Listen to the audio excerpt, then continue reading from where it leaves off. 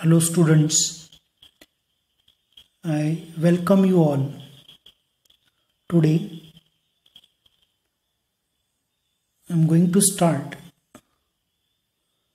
with the same topic determinants. Dear students, today we are going to solve the problems from the exercise 4.2. This is my fifth lecture on the topic determinants.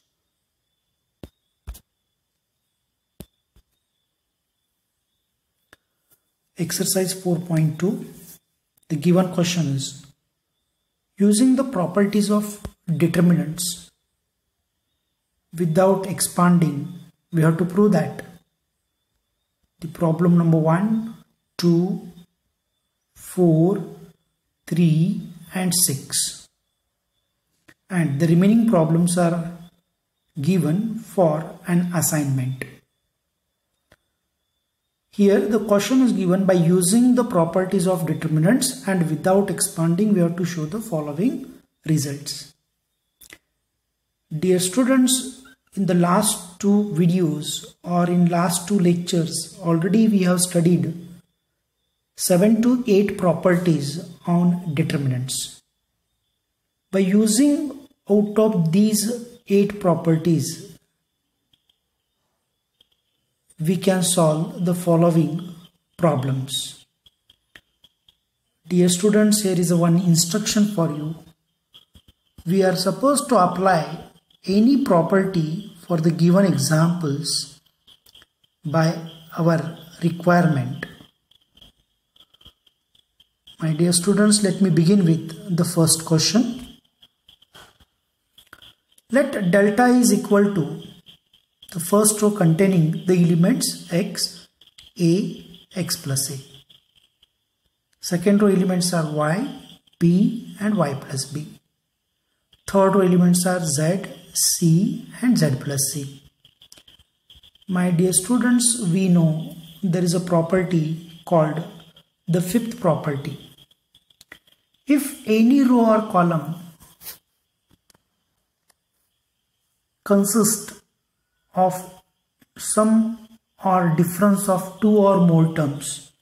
Then that determinant can be expressed as the sum of two determinants. Therefore if you observe my dear students here our third column is containing x plus a y plus b z plus c. Therefore by using the fifth properties of determinants we can write delta is equal to the first column as it is.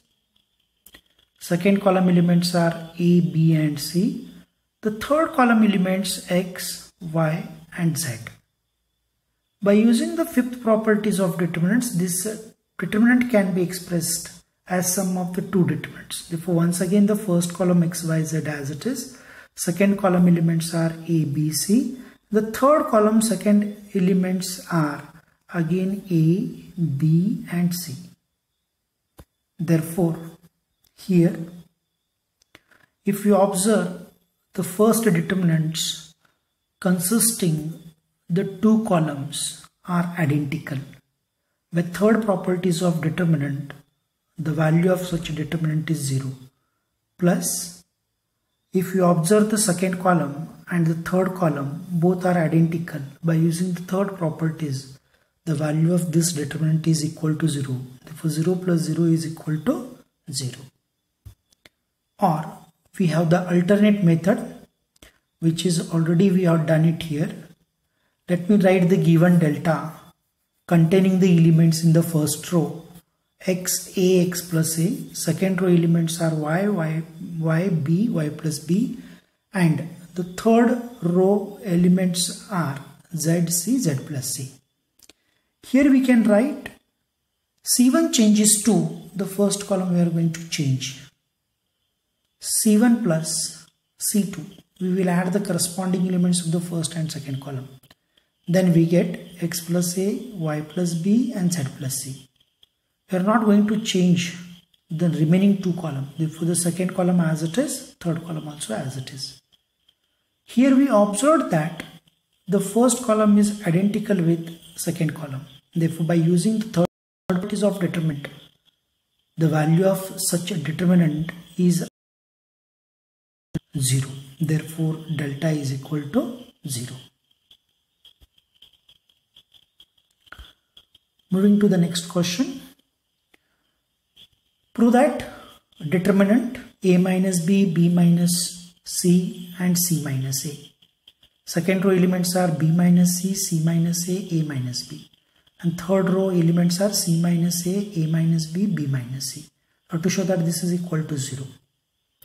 For that let me write the given delta is equal to the first column consisting a minus b, b minus c and c minus a Second column elements are b minus c, c minus a and a minus b, c minus a, a minus b and b minus c. If you observe the first row, second row and third row or first column, second column and third column, we can say that by adding the first row, R1 changes to R1 plus corresponding elements of R2 plus corresponding elements of R3. Then we have R1 plus R2, A minus B plus B minus C plus C minus C. That it gives A minus B plus B minus C plus C minus A. Here plus A minus A cancels, minus B plus B cancels, minus C plus C it cancels. Then we get 0.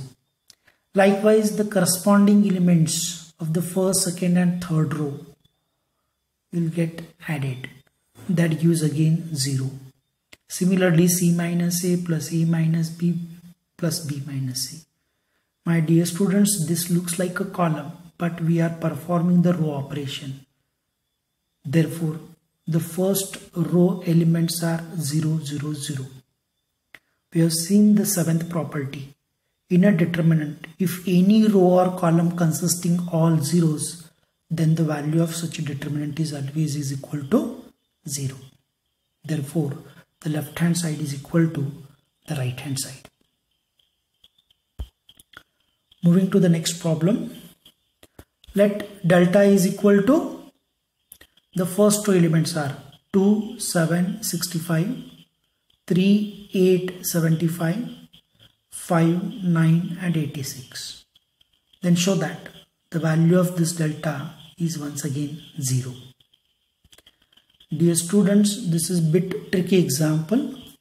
Let me write down the given delta containing like 2, 3, 5 in the first column, 7, 8, 9 in the second column, 65, 75 and 86 in the third column. Now let me apply.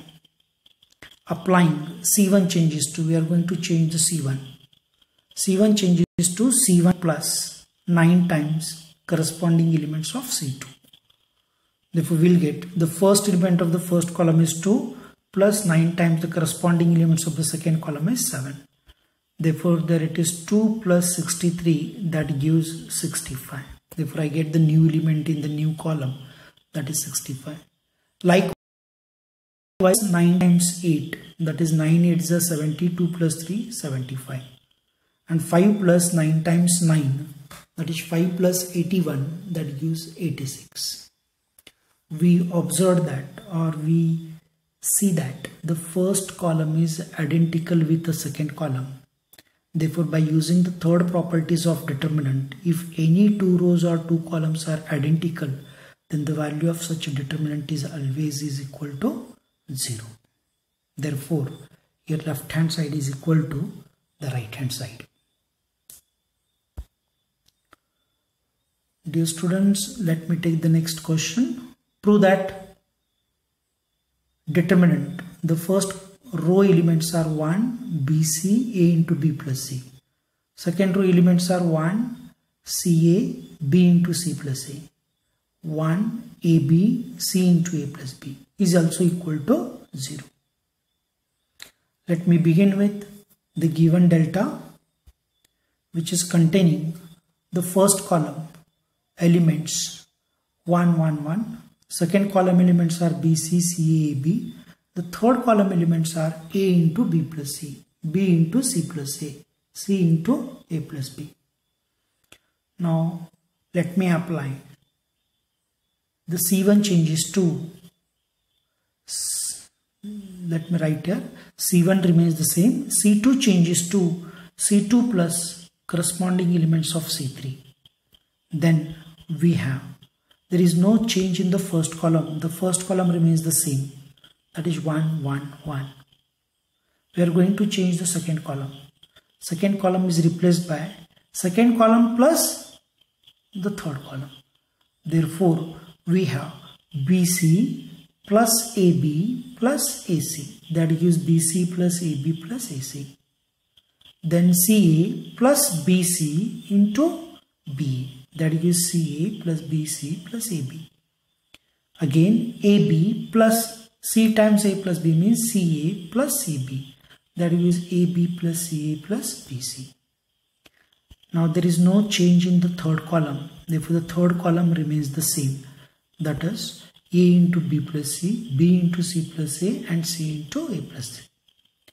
My dear students, in the second column, what I have done is BC is added with A times B plus C that gives AB and AC. CA is added with B times C plus A, it gives BC plus AB and AB is added with C times A plus B means it is CA plus BC. Now if you observe the second column in the second step we have the element AB plus BC plus CA, AB plus BC plus CA and again AB plus BC plus C therefore there is a possibility of taking common in the second column. My dear students we have seen in the fourth property. If any row or column consisting any common factor such common factor will be multiplied to the value of the whole determinant. Therefore let me take a plus bc plus ab plus bc plus ca from the second column. We are left with 1 1 1 in the first column as it is. Since we have taken ab plus bc plus ca in the second column therefore it is left with 1 1 1 there is no common in the third column. Therefore that also remains the same once again by third properties of determinant, the two columns are identical.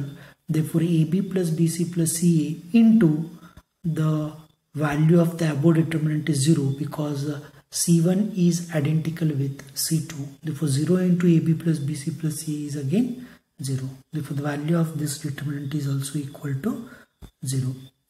My dear students, these are the important examples.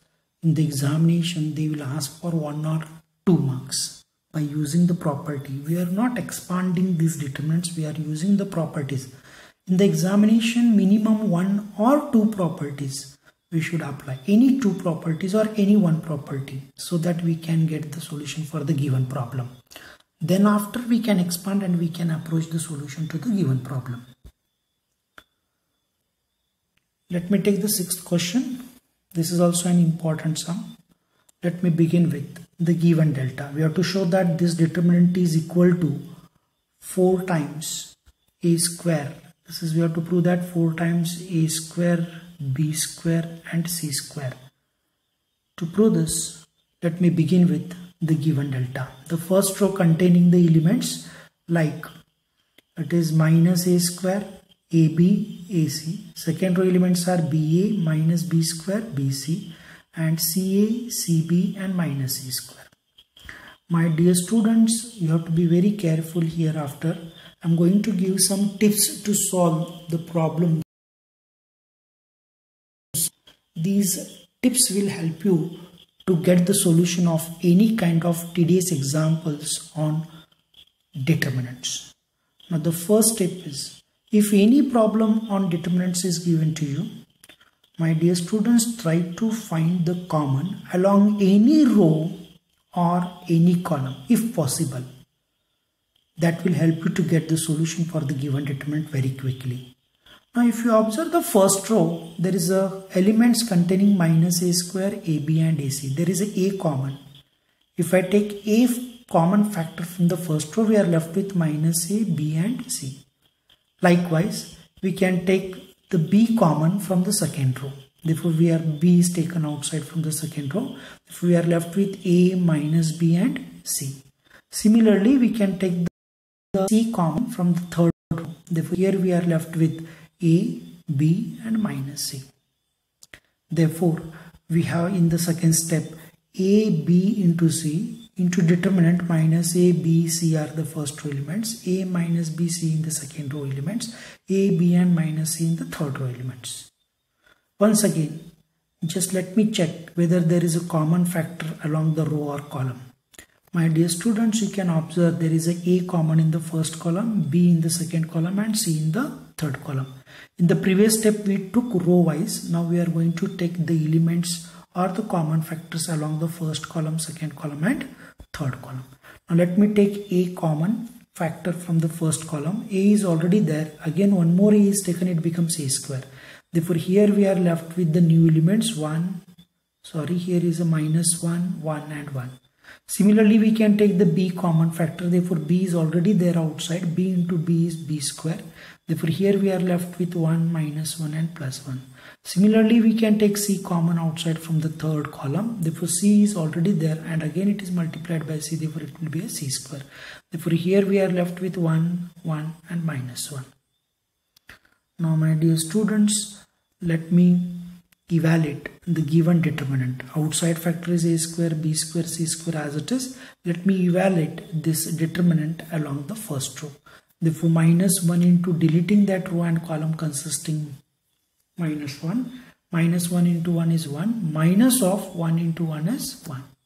Similarly, we have the second element in the first row that is 1. Deleting the row and column consisting the 1 minus 1 into 1 into minus 1 is minus 1 minus of 1 into 1 is again minus 1 and the third element in the same row is 1 deleting the row and column consisting 1 1 ones are 1 minus of minus is plus 1 therefore that gives 2 therefore here we have the elements in the second last step. A square b square c square minus 1 into 1 minus 1 is 0 minus of 1 into minus 1 into minus 1 plus 1 into 1 plus 1 if 1 plus 1 is 2 into minus 2 into minus 1 is again 2 and this gives us 0 therefore 2 into 2 2 plus 2 is 4 4 into a square b square c square is nothing but delta is equal to 4 times a square b square and c square therefore this is equal to left hand side is equal to the right hand side. Moving to the last example from the textbook which is a solved example from the page number 116. In this case also let me show that x plus y, y plus z, z plus x. These are the first two elements and second row elements are z, x, y and the third row elements are 1, 1 and 1. Let me show that this is equal to 0. If you observe the rows and columns carefully, we can see that R1 changes to R1 plus R2. Let me add the corresponding elements of the first row and second row. Then we have, it is uh, x plus y plus z, y plus z plus x, z plus x plus y. Therefore, the first row elements are containing x plus y plus z, x plus y plus z, and again x plus y plus z. That is the common factor taken from the first row. Therefore we are left with in the first two elements 1 1 and 1 the second row remains same and third row also remains same. We find that the first with the second row therefore the value of this determinant is once again 0 0 into x plus y plus z is equal into 0 is 0 therefore delta is once again 0 Therefore, the value of this determinant is again 0. Dear students, let me suggest to you, you practice these simple examples so that in the next class we can understand or we can solve the more tedious example by using the properties of determinants. And these basic or elementary problems help you to solve the 4 mark questions. With this, let me conclude the today's lecture if we have any doubts or queries, please contact the given below number. Thank you. Stay home, stay safe.